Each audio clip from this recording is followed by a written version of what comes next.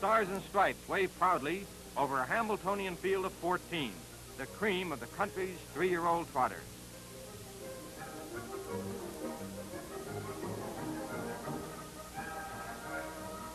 Here's the lineup for the first heat of the demanding $116,000 battle.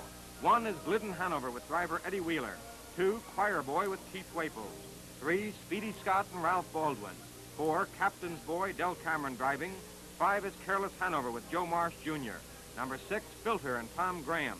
Seven, Florlis and Harry Pownall. Eight is Cheer Honey with Frank Ervin. Nine, Dorado Town with Carl Larson up. Eleven, Diggs Dell and Van Carter. Twelve is Buff Hanover with Johnny Patterson.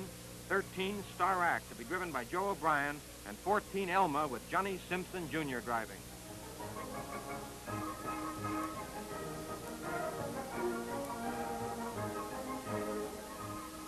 John Dale eases them up to the starting gate, and here they come.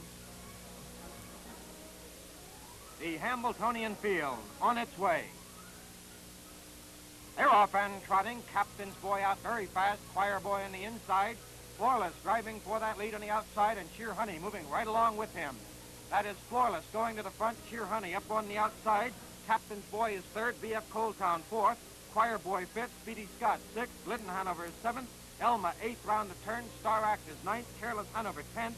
Buff Hanover is eleventh. Diggsdale, twelfth. Dorado, thirteenth. And Filter, fourteenth, as they fly to that quarter mile mark. Leading the way, it is Florlis by half a length, and Florlis goes to the quarter mile mark in 28 seconds. B.F. Coaltown is moving up now as they head to the backstretch. That's Florlis with the lead.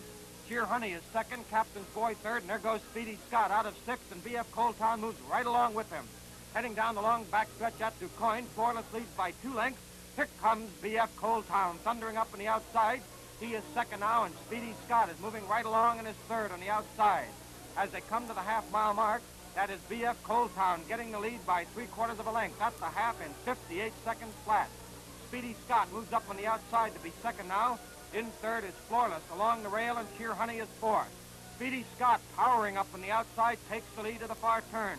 It is Speedy Scott leading the way by a length and a half. B.F. Coaltown is second, Florlis third. Cheer Honey fourth. Glidden Hanover is fifth. Captain's Boy sixth. Elma seventh as they round the turn, and Choir Boy is eighth. Diggsdale ninth. Buff Hanover tenth. Star Act eleventh. Careless Hanover twelfth.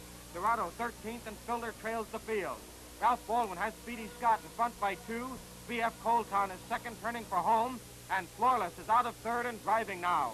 But it is Speedy Scott, the one to catch at the head of the stretch. Speedy Scott trotting powerfully. Florlis is driving on the outside. It is Speedy Scott by a length.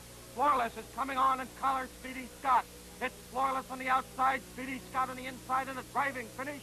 Florlis getting up to win the first heat of the Hambletonian by a head.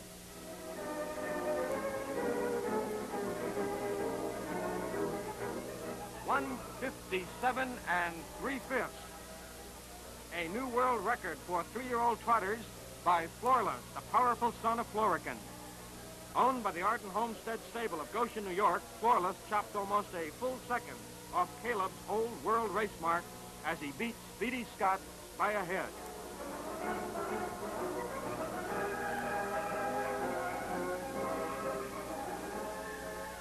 Again, Harry Pownall has shown his magic touch with young trotters.